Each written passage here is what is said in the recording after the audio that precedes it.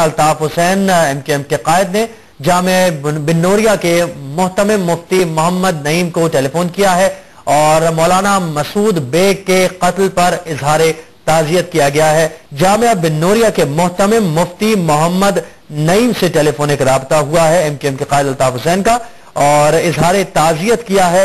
मौलाना Masood bag के कत्ल पर एम क्यू एम के कायद ने इतिहाद बैन मुस्लिमीन पर अमल करें तो अमन बहाल हो जाएगा, ये कहना है मुफ्ती मोहम्मद नईम का। अल्ताफ हुसैन ने मुफ्ती नईम से भी टेलीफोनिक रबता किया और उनके दामाद मौलाना मसूद बेग की शहादत पर इजहार ताजियत किया अल्ताफ हुसैन का कहना था कि एम के एम आपके गम में बराबर की शरीक है।